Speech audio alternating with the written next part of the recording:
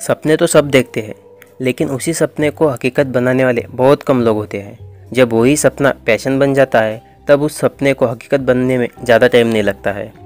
आज की वीडियो में हम कुछ इसी टाइप की मूवी का रिव्यू करने वाले हैं। नमस्कार दोस्तों, फिल्मी दोस्ताना में आपका स्वागत है। अटकन चटकन, इस मूवी को आप जी फाइव पर देख सकते हो। दो घंटे की मूवी है। अटकन चटकन, नाम से ही पता चलता है, कुछ तो मसालेदार देखने को मिलेगा। तो फिर चलो देखते हैं क्या मसालेदार देखने को मिलता है। गुड्डू काम तो चाय की दुकान पर करता है, लेकिन अंदर ही अंदर चाहता है किसी म्यूजिशियन के पास काम करे। माँ कई सालों पहले ही छोड़कर चली गई है।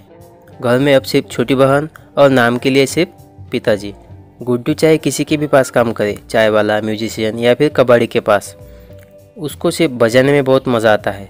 हर किसी की ज़िंदगी में चढ़ा उतार आता है। बस फ़र्क इतना है कि चढ़ा उतार किसकी ज़िंदगी में आया है। और मूवी में गुड्डू की ज़िंदगी में आता है। ज़िंदगी में कुछ लोग ऐसे मिलते हैं जो आपको किसी भी मोड़ पर छोड़कर नहीं जाते। उसे हम कहते हैं दोस्त और ऐसे ही दोस्त गुड्डू को एक हादसे में मिलते हैं और उनकी एक टीम ही बन जाती है। तकदीर देखो, सबको कुछ भी मिले, बजाने का शौक होता है। या फिर यूँ कहे, जब बात पेट पर आती है, तब इंसान कुछ भी करने को राज़ी होता है। दूसरी तरफ़ है तानसेन संगीत महाविद्यालय, जो मोटी रकम पाने के लिए नेशनल अवार्ड लाना चाहती है और उनके स्टूडेंट सब इंस्ट्रूमेंट होकर भी अच्छे से बजा नहीं पाते हैं। भाई कैसे बजा पाएँगे? उसके लिए टैलेंट होना माँगता है और टैलेंट सबके अंदर नहीं होता है। ये बॉलीवुड इंडस्ट्री नहीं है जो बाप के दम पर बिना टैलेंट के बॉलीवुड पर राज करेंगे। अब गुड्डू की टीम अटकन चटकन और तानसेन संगीत महाविद्यालय के प्रोफेसर किस तरह से मिलते हैं, ये आपको मूवी में पता चल जाएगा। वैसे तो हमारे प्यारे भारत में स्टूडेंट की हालत क्या है, ये आप अच्छे से जानते होंगे। अगर नहीं जानते हो तो जान लीजिए थोड़ा सा सर्च करिए।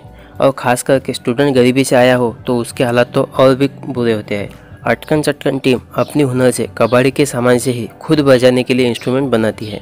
आखिर में बड़े मुश्किलों के बाद अवार्ड तो जीत ही लेते हैं और साथ ही साथ बाप का प्यार भी मिल जाता है और माँ की ममता भी मिल जाती है। लेकिन इस बीच बहुत सारी समस्याएँ आती है। लेकिन चलो ठीक है, अंत भला तो सब भला। जो छोड़कर गए थे, वो भी वापस आ जाते हैं और खुद भी अच्छे से सेट हो जाते हैं, सिर्फ़ मेहनत की वजह से। लेकिन कभी कभार क्या होता है, छोटे से मिस्टेक की वजह से अपने बिछड़ जाते हैं। जो हमारे सपने साकार करने के लिए हमारे साथ थे। कुछ इस टाइप की मज़ेदार कहानी आपको मूवी में देखने को मिलेगी। अब बारी है फाइनल कंक्लूजन की। तो आप सभी इस मूवी को फैमिली के साथ ज़रूर देख लेना। और हाँ फैमिली में छोटे बच्चे भी आते हैं। मतलब सब मिलकर मूवी को देख लेना। आपको अकॉर्ड करने के लिए एक भी सीन नहीं डाला गया है। मूवी में जैसे पति पत्नी के झगड़े दिखाए गए हैं, वैसे तो कई सारे फैमिली में आज भी होते हैं। लेकिन एक बात याद रखना, उस झगड़े की वजह से बच्चों को तकलीफ़ में मत डालो। उनका बचपन अच्छे से बीत जाए। खुद के फ़ायदे के लिए ही सही, लेकिन उन बच्चों को मदद करने के लिए। प्रोफेसर का शुक्रिया। अगर आपने इस मूवी को पहले ही देखा हो तो आपको कैसी लगी ये कमेंट में ज़रूर बता देना। बस आज की वीडियो में इतना ही। फिर मिलेंगे नए वीडियो के साथ। तब तक के लिए जय हिंद।